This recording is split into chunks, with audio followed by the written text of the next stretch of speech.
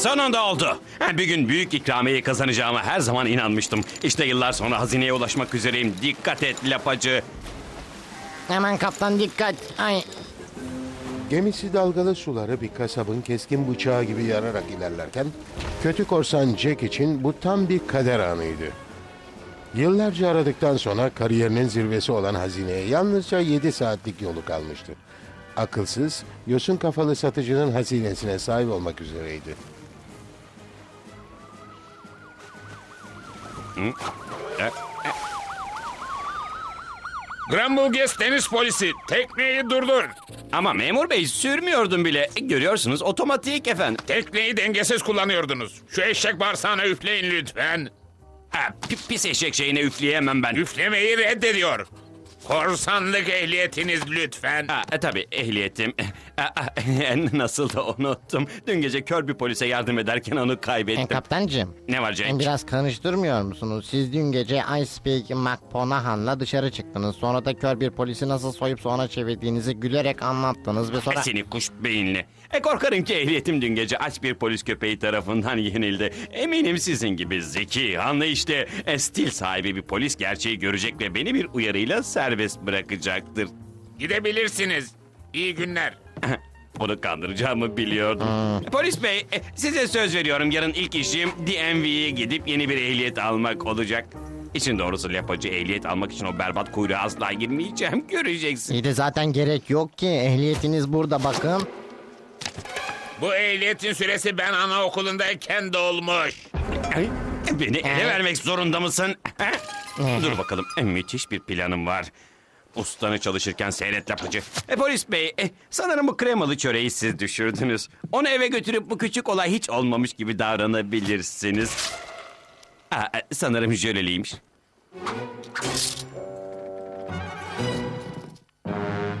Eşek bağırsağına üflemeyi reddettiniz ve süresi bitmiş ehliyet kullandınız. İki seçeneğiniz var. Farelerle dolu iğrenç hapishanenin duvarına asılmak ya da ehliyetiniz için sınav kuyruğuna girmek.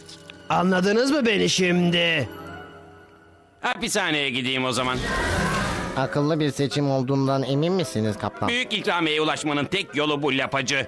Bütün yapacağımız öğleden sonra hapishanenin komedyenini izlemek ve bunun keyfini çıkarmak. DMV'ye gitmekten daha iyidir inan bana. Merhaba, ben komedyeniniz Bayat Renemus. Komedi dersine hoş geldiniz. Buraya gelirken düştüm ve kemiklerim sızladı. Ha kemiklerim demişken bu iskeletler yemek kuyruğunda Orson Welles'in arkasındaydılar herhalde değil mi? E, gidip kuyruğa girelim lapacı. Yeter! İşte çılgın deniz tekneleri departmanı. Günün sonuna yaklaştık. Mantıklı düşünürsek bu yüzden kuyruk çok hızlı bir şekilde ilerliyor olmalı değil mi? Lapacı korkarım numaramız 96473. Ama iyi tarafını görün biraz kaptancım. En öndekinden sadece 28.962 gerideyiz. Bin eksik bin fazla yani ne fark eder? Ve böylece çılgın korsan Jack ve sadık arkadaşı Lapacı, çılgın deniz tekneleri departmanındaki nefes kesen maceralarına başladılar. Ama sanki ım, umulandan biraz daha heyecanlı gibi. Hatta oldukça yavan. Aslında tarif edilemeyecek kadar sıkıcı. Bana bak dış ses bozuntusu işe yaramayacaksan toz ol. Ne? Hemen. Benimle böyle konuşma. Neden sen toz olup gitmiyorsun? Sen toz ol. Sen toz ol. Sen. Sen. Bak bu şovun adı Çılgın Korsan Jack'in maceraları. Huysuz mıymıntı ihtiyarla tartışma programı değil. Hemen toz ol yoksa ümüğünü koparırım senin. Hayır sen. 96.773 649 nolu kabine gelin ve öğretmeninizle tanışın. Kaptan bu biziz. Olamaz parlak Dashing öğretmen sen misin? Ah, çılgın korsan Jack. Benim azılı düşmanım. İnanılmaz bir rastlantı. Çene ameliyatım için burada ek iş yapıyorum. Ortak nefretimize rağmen senin için elimden geleni yapacağım. Hadi göz testiyle başlayalım ha? Ne dersin? Hadi gelin bakalım. Bu yazıyı okumak zorundasın. Top güllesinin üzerinde ne yazıyor bakalım? Söyle. Ama buradan o lanet top güllesini bile göremiyorum.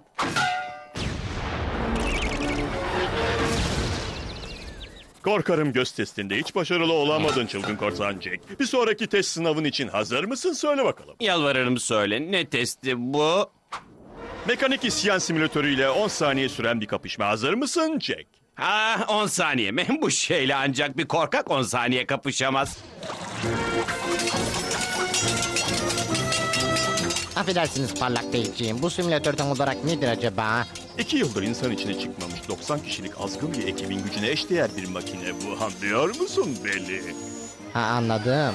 Bu lanet makine parlak beni ma- mahvetti.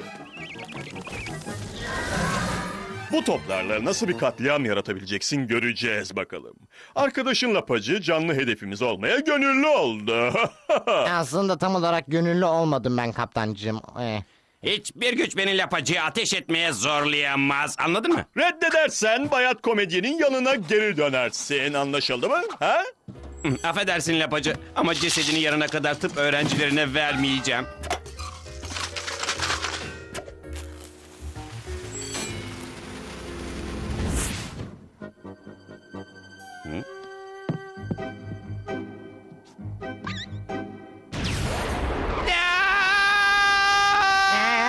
Ay!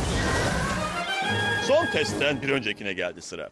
Önce şu iki yük gemisinin arasına paralel bir şekilde park edeceksin. Heh, çocuk oyunu. Affedersiniz bu gemilere tam olarak ne yükleniyor acaba?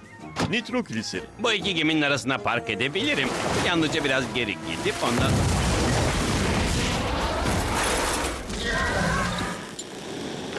Tamam.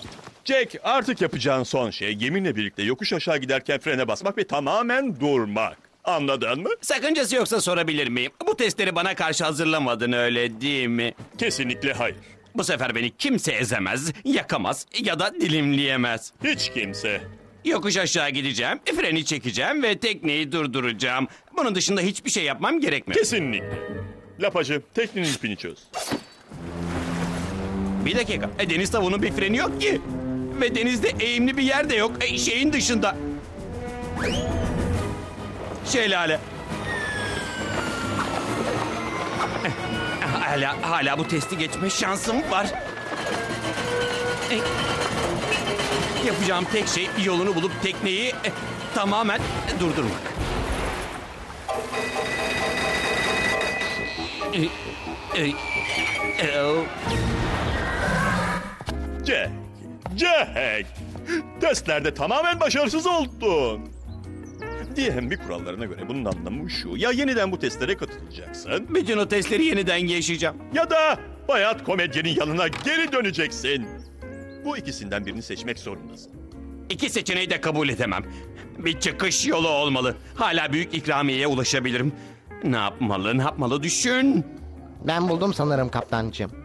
Bu DMV sözleşmesinde bir açık var kaptan. E çok aptalca bir madde. Bu diyor ki eğer bir korsan bu testleri geçemez ve bayat komedyenin sınıfına geri dönmek istemezse o zaman DMV'de çalışabilir. Aha! Bu sersem yasa boşluğunu duydun. Hemen bana serviste rahat bir iş ayarla. Soğutucusu ve manzarası olan rahat bir köşe istiyorum. Çabuk hallet şu işi. Ah, peki Jack. Bu bölüme git ve hemen işe başla. Demek ki kader bir yerde yön değiştirip insanı başka durumlara götürebiliyor. Benim karakterim de bir korsan hazinenin peşini bırakıp büyük bir şirketin çok önemli bölümlerinden birinin üst düzey yöneticisi olabiliyor işte. DMV gibi. Ve böylece bu yasal boşluk sayesinde korsan Jack, yüksek denizlerde nefes kesen yeni macerasına başladı. Entelektüel birikimin sınırlı alanına uygun ve daha çok kaslarını geliştirmeye yönelik bir işti bu. Bana bak sana toz olmanı söylemiştim değil mi? Asıl sen toz ol ya da boş ver hoşça kal. İşi bırakıyorum. Güzel, e sonunda gidebildi. Peki ama şimdi ben ne yapacağım? Ama iyi tarafını görün biraz kaptan. İyi tarafı var mı? Canlı hedef olarak çalışıyorum. E doğru ama en azından büyük ikramiye şansı hala var değil mi? Geliyor!